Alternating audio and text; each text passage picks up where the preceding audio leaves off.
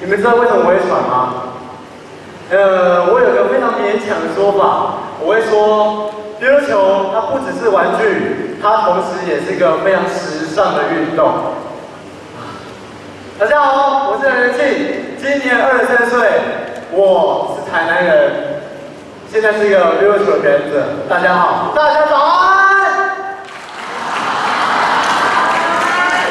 啊。应该有算早了啦，哈，但是我真的刚起床没多久。好的，首先，呃，我可能要先感谢一下我台艺大的学姐玉珍老师，她把我邀请到安心国中做分享，因为我已经半年没有回到台南了，然后今天可以因为她而让我回到台南，这是我昨天要搭高铁回来的时候的照片，你看我多兴奋！我们先给她一个小小掌声鼓励好吗？好了，今天来到这里，我不知道跟大家讲什么人生大道理。不过我先带来三个问题，我想要先问大家。首先，第一个问题，未来你想要成为什么样子的人？哦，我相信有些人在小时候写过一篇作文，叫做《我的梦想》。哦，有些人像我的同学，他的梦想说什么？呃，他当警察，或者是当律师，或当医生。最扯的是，我有同学，他说他想要当太空人，那我们全班就会笑他，哈哈哈，怎么可能以后当太空人？好，接下来第二个问题，这个目标距离你有多远？像我那位想要当太空人的同学，他的目标就是地球到月球那么远距离。我昨天上网 Google 了一下，大概有三十八万四千四百零一公尺，哎，四千，哎。三十八万四千四百零一公里，哇，这么远的距离，所以他要努力从地球飞到月球，这么远的距离，他要努力多久？这我们就不知道了。接下来第三个问题，现在的你有没有喜欢做的事情？有没有喜欢做的事物？嗯，等一下我会讲一个有关于我自己的故事，也许你会在接下来四十五分钟，你会得不到。上这三个问题的正确答案，但是我希望你们将这三个问题放在心里面，然后很开心的把我的故事给听完。那一年我十四岁，跟你们差不多大的时候，我下定了决心，我做了一个决定，而这个决定影响到我到现在已经有快十年的时间了。好，所有的故事都有个非常简单的开始。叫做什么？叫什么？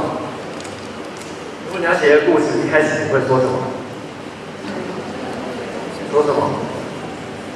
哇！我听他回答好了，很久很久以前，其实也没有很久啦，大概在二十三年前，我出生在台南新营，这是我小时候的照片，可爱吧？然后我出生在一个爸爸妈妈都是老师的家庭。我妈妈是书法老师，她在我们家中扮演一个非常慈祥的角色，所以每次当我非常调皮的把我妹妹弄哭的时候，我妹妹就要去跑去我妈妈旁边，然后跟她说：“啊，哥哥欺负我。”然后妈妈就负责安抚她，然后我爸爸就拍下这张这样经典的照片。好，说到我爸爸，我的爸爸跟我妈妈完全不一样，他在我们家里面是一个非常严肃的一个角色。他曾经当过国中的训导主任，所以他非常会骂人。哦，尤其是我们家中三个小孩。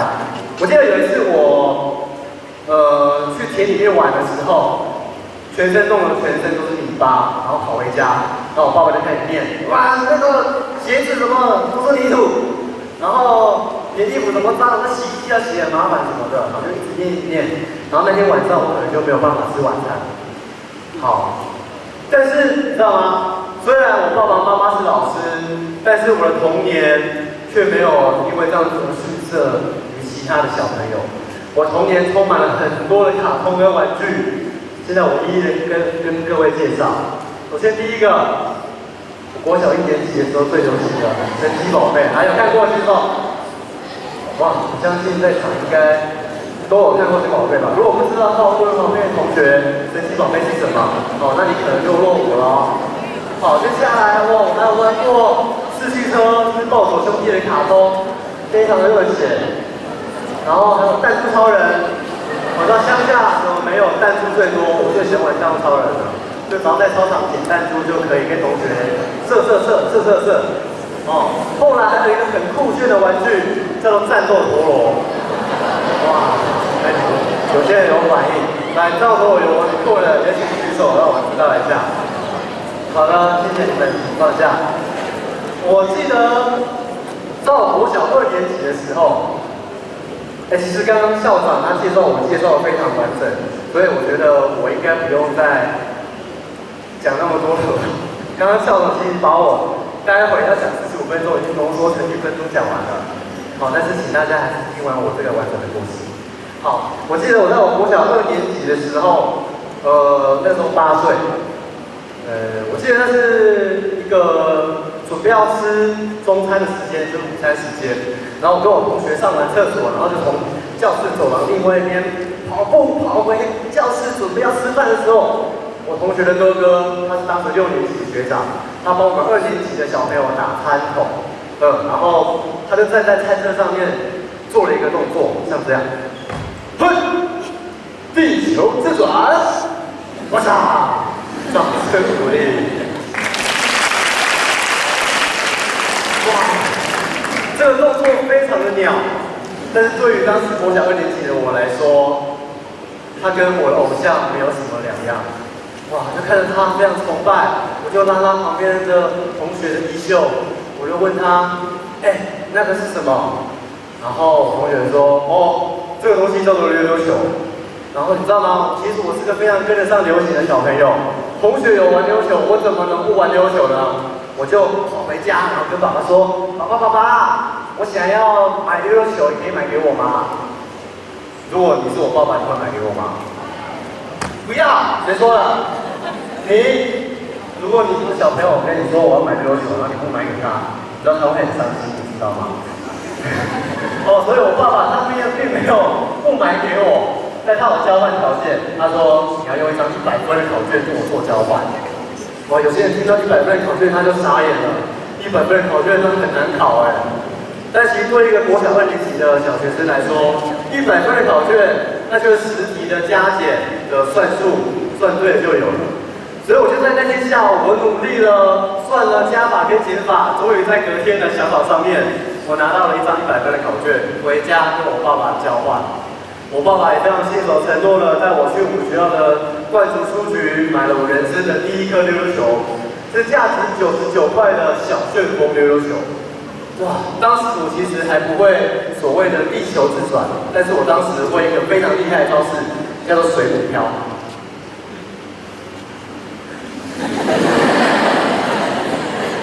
厉害吧？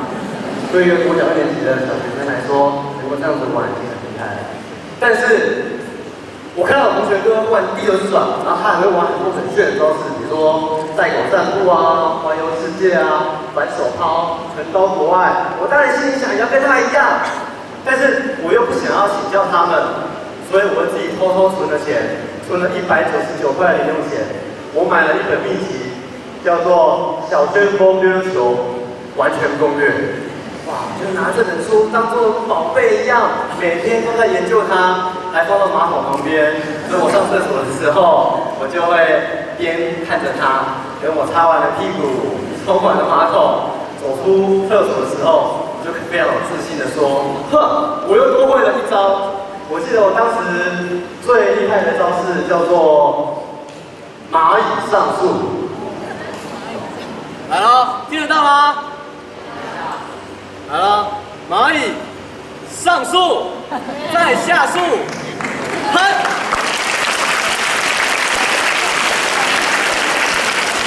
哇，当时呃，除了在学校的走廊玩溜溜球之外，我还会在班上的庆生会、同乐会上面表演溜溜球。就是班上会排那个多日子嘛，然后可能今这个月就要庆祝什么十月、十一月的寿星。然后就会跟老师说，我会表演溜溜球，然后就表演刚刚你们看到的那些招式。后来溜溜球有卡通了，到国小四年级的时候，每个礼拜五的下午五点钟，都会在台视播一个卡通，叫做《超速游泳》。而这个卡通在讲主角唐本顺一，呃，他其实对任何事情都没有什么热情，